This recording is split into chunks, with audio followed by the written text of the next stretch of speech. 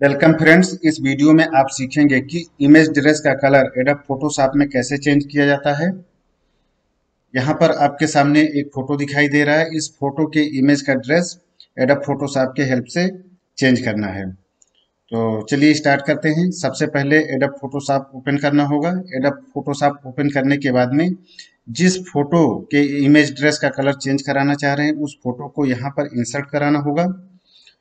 तो उसके लिए क्या करेंगे? सबसे पहले लेफ़्ट साइड में ऊपर की तरफ़ फ़ाइल का ऑप्शन दिखाई दे रहा है।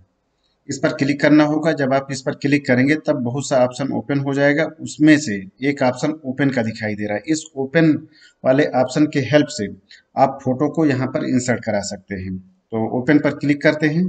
ओपन पर क्लिक करने के बाद में हमारा जो फ़ोटो है इमेज नाम नाम के फोल्डर में रखा हुआ है। फ़ोटो को सिलेक्ट करेंगे। उसके बाद में ओपन पर क्लिक करेंगे।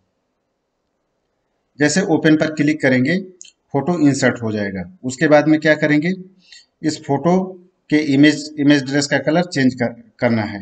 उसके लिए एक्चुअली फ़ोटो के इमेज ड्रेस का कलर कई तरीके से चेंज किया जा सकता है लेकिन यहाँ पर दो मेथड से सीखेंगे। तो सबसे पहले क्या करेंगे? इमेज ये जो इमेज ड्रेस है इसको सबसे पहले सिलेक्ट कर लेंगे। उसके बाद में जो पहला वाला ऑप्शन है इमेज पर क्लिक करेंगे, उसके बाद में एडजस्टमेंट पर जाएँगे और यहाँ पर बहुत सा ऑप्शन दिखाई दे रहा है।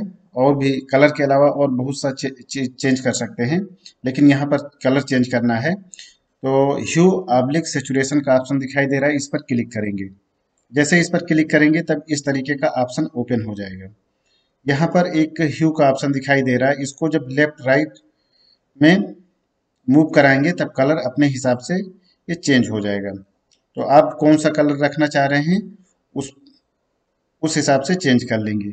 यहाँ पर इसके अलावा और भी कलर का ऑप्शन दिखाई दे रहा है। मास्टर में जब आप जाएँगे, red, yellow, green, blues magenta, इस तरीके से और बहुत सा ऑप्शन दिखाई दे रहा है। आप अपने हिसाब से भी सिलेक्ट कर सकते हैं। इसके अलावा जो दूसरा ऑप्शन है, वो भी देख लेते हैं। तो इसको पहले कट करते हैं।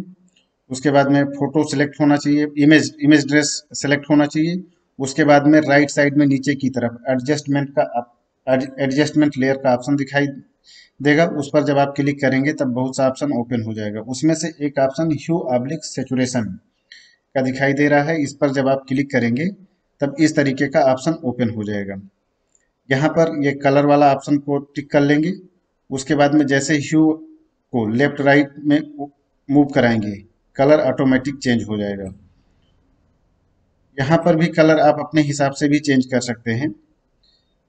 सपोज़ येलो रख रहे हैं। उसके बाद में आप लेफ़्ट राइट में मूव कराएँगे, तब कलर ऑटोमेटिक चेंज हो जाएगा इमेज ड्रेस का। आई होप दोस्तों यहाँ पर आप समझ चुके होंगे कि इमेज ड्रेस का कलर एडप फोटोशॉप में कैसे चेंज किया जाता है। इसके अलावा और भी ऑप्शन है। जैसे अगर आप इस फ़ोटो को सेव करना चाह रहे हैं कलर चेंज करने के बाद में। तब आप फ़ाइल पर जाएँगे। फ़ाइल पर जाने के बाद में यहाँ पर सेव एज का ऑप्शन दिखाई दे रहा है, इस पर क्लिक करेंगे। जब इस पर क्लिक करेंगे, उसके बाद में यहाँ से फ़ोटो का नेम भी आप दे सकते हैं फ़ाइल नेम मान लीजिए इसको वन देते हैं। किस फॉर्मेट में सेव करना चाह रहे हैं, वो यहाँ से सिलेक्ट कर लेंगे। मान लीजिए आप जेपीईजी में सेव करना चाह रहे हैं, तब जी जेपीईजी सिलेक्ट करेंगे। उसके बाद में कहाँ पर सेव करना चाह रहे हैं? वो सिलेक्ट कर लेंगे। उसके बाद में सेव पर क्लिक करेंगे।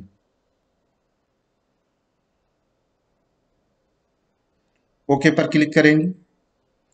फ़ोटो सेव हो जाएगा। अगर मान लीजिए आपको इस फ़ोटो का प्रिंट लेना है, उसके लिए क्या करना होगा? फ़ाइल पर जाएँगे। जब आप फ़ाइल पर क्लिक करने के बाद में नीचे की तरफ़ बढ़ेंगे प्रिंट का ऑप्शन दिखाई देगा। इस पर क्लिक करेंगे। जैसे आप प्रिंट पर क्लिक करेंगे, इस तरीके का ऑप्शन ओपन हो जाएगा। यहाँ से कितना कॉपी करना है, वो आप घटा बढ़ा सकते हैं। उसके बाद में प्रिंट पर क्लिक करेंगे, तब फ़ोटो प्रिंट हो जाएगा। आई होप दोस्तों यहाँ पर आप समझ चुके होंगे कि इमेज ड्रेस का कलर एडप फोटोशॉप में कई तरीके से चेंज किया जा सकता है। थैंक यू दोस्तों वीडियो देखने के लिए।